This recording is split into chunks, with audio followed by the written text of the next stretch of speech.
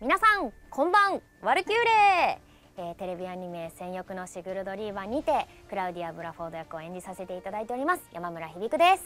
はいムグルマ都役日枝ねねです。はい駒込あずず役の真央です。はい渡来園香役の菊池さやかです。はい、うん、ということで、うん、なんと、うん、第1話を、はい、我々先に皆さんより見せていただけるということでね なので今日は4人集まりました。はい、いやちょっとこの第1話を見られるこの運びになるまでがねちょっと長かった気もしますけれども。いやでもこんなしっかりしたねところで見られるの嬉しい、本当に嬉しい限りなんですけれども、これからね1話見ていくんですけども、皆さん楽しみなシーンありますか？いっぱいある。今から今からだからちょっとネタバレにならない程度でね、ちょっと似合わせるぐらいで。でもなんかみんなが一番最初に出会うシーンとかはやっぱり印象的ね印象的だから。私ねそのかがね初めて出てくるとこ好き。ぜひ注目してください。私は宮古がこうね基地をいろんなところに行くところがあるんですけれども、そこがね楽しみです。楽しみ。私はあのー、ニコ生の時にも監督が絵コンテで見せてくださった、うん、アズズのあのコンテの時の、あ、あ、みんなで隕石ですかって言ってた。あのあそこがどうなってるのか、うん、果たして隕石なのかどうか。ですね。私はもうなんかアフレコの時にもう泣きそうになっちゃったんですけども、うん、ラストシーンが本当に素敵で、ねうん、いやほんどんな仕上がりになってるのかすごい楽しみ、ね、泣いちゃうかもしれない。いやいやもう泣こう今日は。はいということででは早速見ていきたいと思います。はい、テレビアニメ「戦欲のシグルドリーバ」第1話です。どうぞ。おおすごいすごい。上映上映前ベル本格的。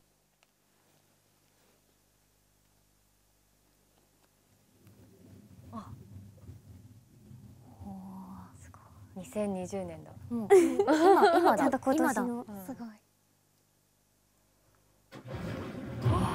おおい。い。天気。確かに。デナリ山デナリ山。おおなんだこれは。綺麗綺麗だけど綺麗だけど。これが。これが。ああおあおあなんや。あええ立ちたいそこに立ちたい。そこ立てるんだ。うわ中二だ。おおすごい。始まる。すごい。おお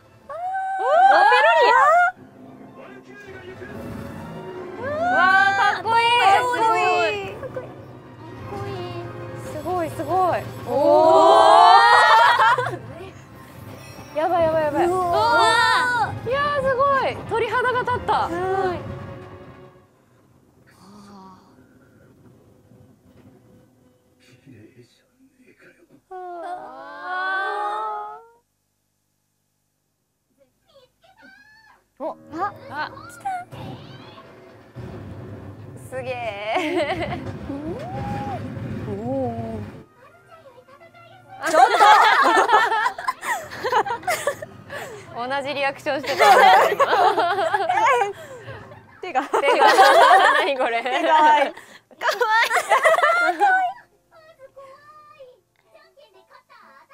お。かわい。いピース。かわい。い西からあげるああ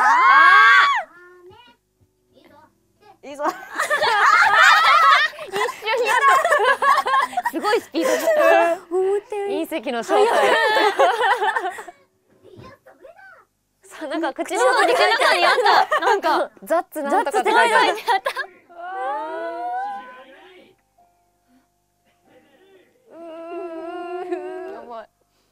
です。このドヤ顔で。表情がすごい豊か。豊かえー、大きい。こんなでかいの？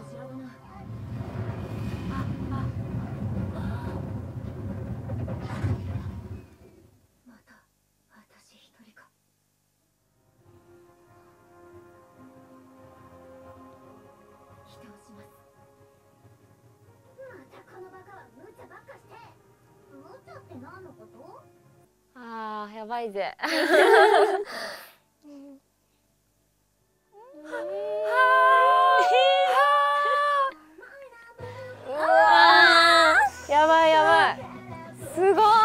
すごい。ということでアニメ1話、はい、見てきましたけれども、いかがでしたか？あっという間だった。本当にあっという間だった。本当に。本当に1時間あったのかっていうぐらい、あっという間に終わってしまいましたね、もう泣いちゃいました。私もここここでなんかぐすぐすぐすぐすちょっとねメイクさんに今直してもらいましたけども。いやなんかその迫力もあったし、涙もあり、笑いもあり、笑いもありましたね。結構結構突っ込みましたよね。そう。結構ねその我々はアフレコの時にあのまだ完全にはできてない状態でのアフレコだったので、あここのシーンってこうなるんだっていう発見もすごいあって、特になんか私が思ったのはサンバカーがあの出撃した時に みんな同じサンバカってあのね金髪とグラさんと、はい、あのロン毛。ロン毛。の3人がねちょっと喋ってる時に みんな同じ格好してるの。どれが誰だか声で聞き分けないと。アフレコの時はちゃんとボールドが出てたからね誰がっていうの分かってたけど、うん、あなるほどこうなるのかと思って、やっぱね声で皆さん聞き分けていただきたいなって思いますけど。どうでしたか？他の部分は。でもすごい表情が、みんなめちゃくちゃ豊かで、コロコロコロコロ変わるから、すごい見てて飽きないし可愛くてしょうがなかったですね。特になんか宮子とあずずは、ね、すごい 表情がねコミカルな。あの、あずずがそれだってなった時の口のあのみんなで一瞬ざわついた時のなんか口出るっていうなんか誰かいたっていうあれもう一回確認したい、絶対もう一回見たい。みんな一時停止をしてぜひ確認していただきたい。なんて書いてあったんだろう。なと真央さんがあのね気になってたっていうあの隕石かって隕石。このスピード感が。すごかったですね。隕石の正体はあれでしたね。そして運動のね能力がねないんで。ね それが可愛い。そんなに運動能力ないのに飛行機戦闘機乗れてるのすごいよね。すごい。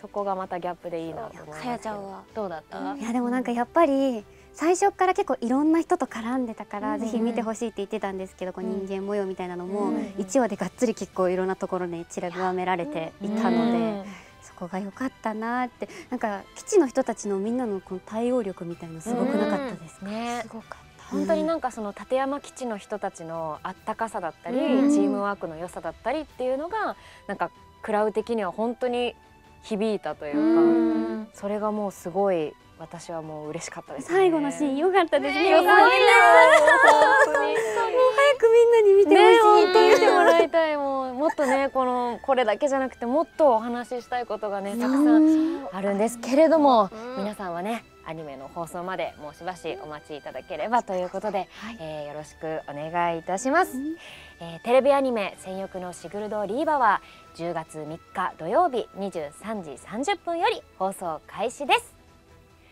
せーの。お楽しみに